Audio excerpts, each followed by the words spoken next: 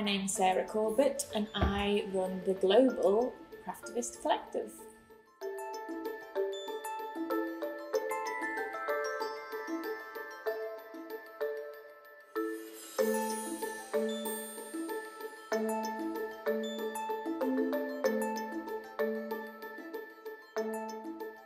I started doing craftivism about 10 years ago, or just over 10 years ago. My background in activism. I grew up in a low income area. My mum's a politician. We always campaigned on local and global issues. And then I worked for big NGOs. And I got into craft because I suddenly found that it slowed me down, it calmed me down, and it helped me think more clearly. And I thought this could be a really useful tool for activism. So that was my journey into it 10 years ago. And then I've honed my craft in craftivism to see where it's helpful, where it's not helpful. I'm really proud to say it has helped change laws and business policies and hearts and minds.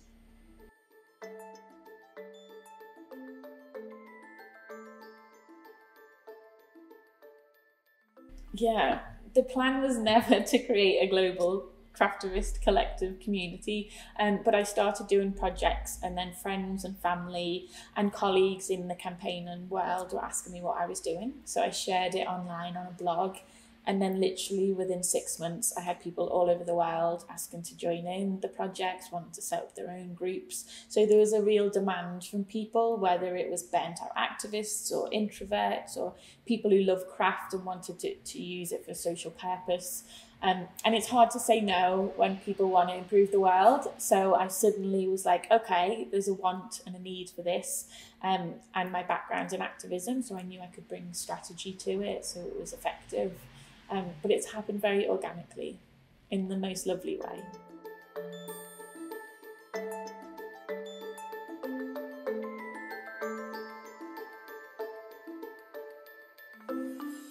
So I always say to anyone that you can be a really effective craftivist, whether you're new to craft or whether you're an experienced crafter.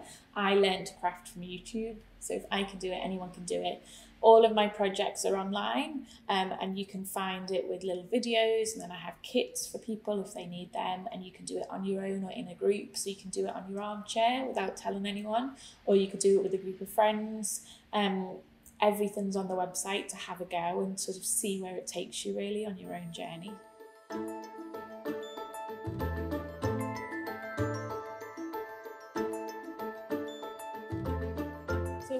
Always say craftivism is one tool in the activism toolkit. I still sign petitions and go on some marches if they have a clear strategy and they're not hateful.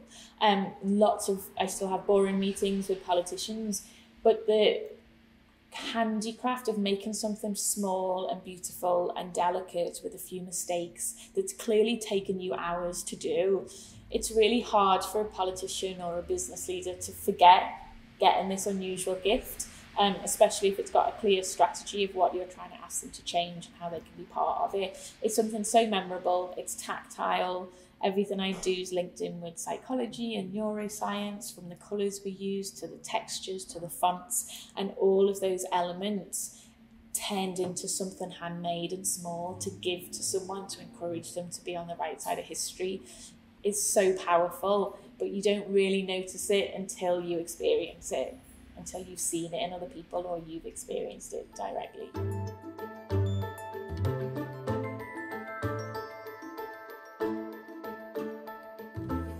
There's so many examples and I'm really proud that what we do works. I wouldn't do what I do if it didn't work. So we've helped change a law in Spain to protect migrating birds where people gave beautiful origami birds with messages on to politicians in government and made this beautiful installation outside um, and that changed the law. Um, and we had politicians come outside to collect their birds and take them back to the office. I have people all over the world who make handkerchiefs for their senators, their politicians, local councillors, lots of different people to build a long term relationship with them. So it says, don't blow it, use your power for good. We know you've got a hard job to do, and we want to encourage you to to do the best job and then you link that into lots of issues you care about because it's more about long-term change um, so there's a real there's so many different ways which is why i wrote a book all about it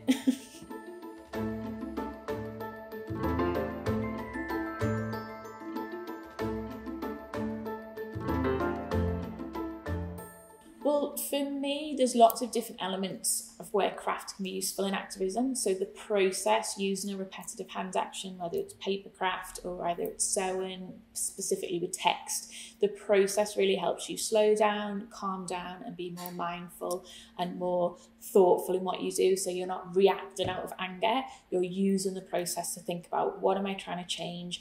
Who is involved in that? Whose mind do I need to change? Who's got the power there? What is it a law I'm trying to change? Is it a behavior? It gives you that time to think really clearly about your strategy and plan it really well. And then the product is what's happening with this. Is this a piece of street art to provoke passers by? Or is it something that's more about engaging the media or social media? Or is it about something completely secret between yourself and a power holder to build a relationship with? And um, so the process really helps you think through what is this? Why am i making it? Who is it for? What will engage them? What language? And then the object is a catalyst for for change. Um, it's not the conclusion. It's the start of being part of that change you want to see in the world. But it can take time um, and that's why you need to slow down and think carefully about it and make something gentle um, and strategic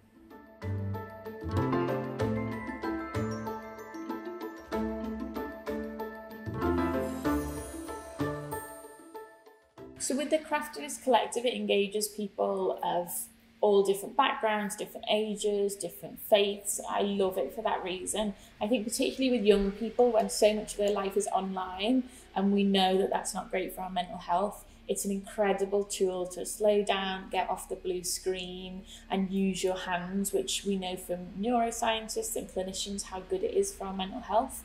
Um, but also, all of the resources I use, I practice what I preach. So I make sure that everything's ethical, everything's as environmentally friendly as possible. We don't use resources if we could use less amounts. Um, and what I love, especially with young people, is when they say, Where's this felt made? I can say it's made from post consumer plastic bottles, or Where's that fabric from? I can say it's upcycled from donations. So it's a great way for people to not only use the process to help them on their journey, but also really question where their source and everything and can we do it more sustainably. Um, and I find that fascinating and the people I work with all over the world of all ages, now more than ever, people are talking about how can we be more sustainable in what we do and, and find unusual ways to use resources.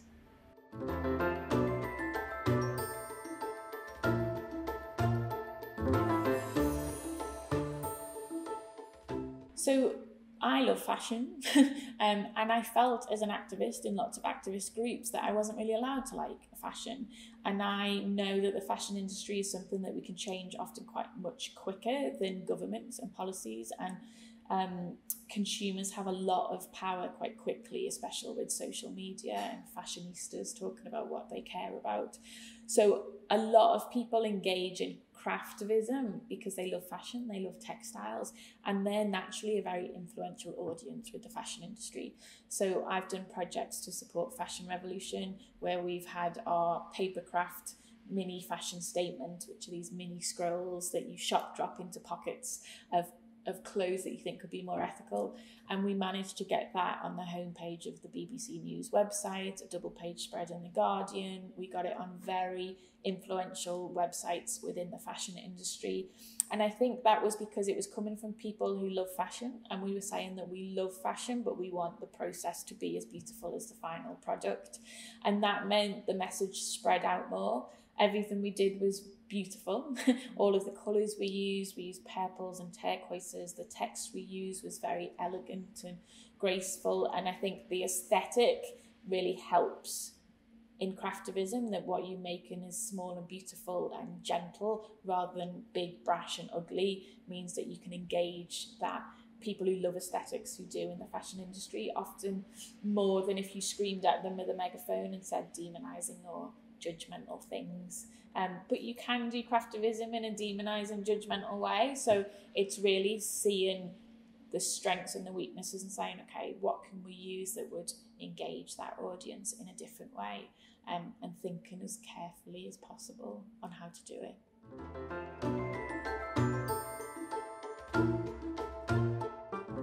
Anyone can be a craftivist, whether you love craft or not. I always say that craftivism is a tool in the activism toolkit. So it's not a movement. We don't have a petition movement. We don't have a march movement. But when you see an injustice and you think, okay, how can I be part of solving that? I want you to sort of metaphorically open up that activism toolkit and say, what do I need to do? Do I need to just challenge my neighbour who said something xenophobic? Or do I need to make a mini scroll to reach people online? But I really want people to see craftivism as a really valuable tool in the activism toolkit and at certain times it's the best one to pick up and at certain times it's not the best one to pick up so it's really there to help people be effective change makers um, in different ways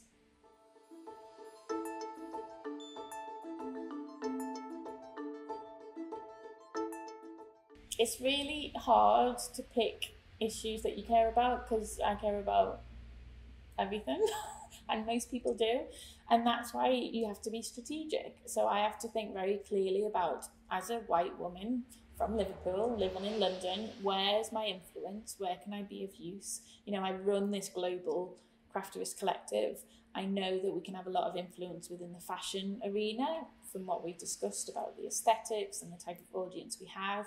I also know that I can't solve the war in Syria, um, so I can give emergency relief. But I think what's great with some of our projects, like the workshop we did today, it was about how you can be the most effective change maker you can be within your context, within your contacts that you've got, using the different skills and talents you've got. Where is it? Where can you be of best use?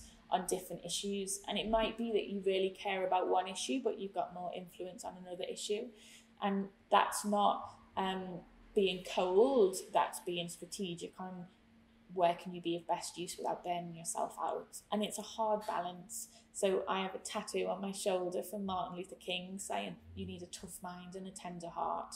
So you need a tough mind to think strategically about where you can be of best use, but you need that tender heart of how can I do what I do in a loving way, knowing that I can't do everything, but I can try and be a good jigsaw piece in the puzzle.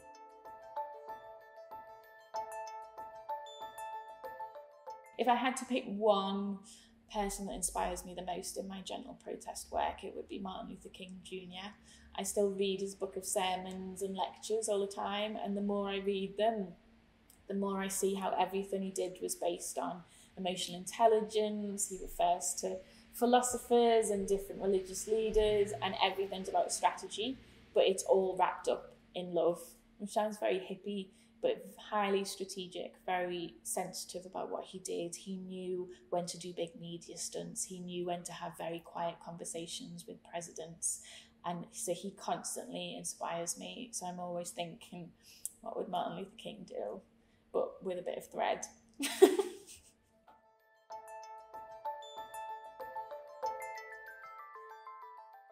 So I believe that if we do want to make the world a more beautiful, kind, and just place, then our activism should be more beautiful, kind, and just because it makes more sense and it would be more strategic. And it sounds cheesy, but it's days like today where you're just with a group of people stitching away with lovely lavender smells, a cup of coffee, having a chat about how we can make the world a better place locally, nationally, internationally and seeing the beauty in the world, whether it's raining or not, and saying, how can we have even more beauty in the world? That's what keeps me going, is seeing all the great stuff and how we can make things more great rather than just focusing on all the problems where you then can't think of anything because you're in a downward spiral. So I'm always reminding myself of the beauty in the world, in people, in colours, in smells, in a good coffee, that keeps me going to want to make the world a more wonderful place.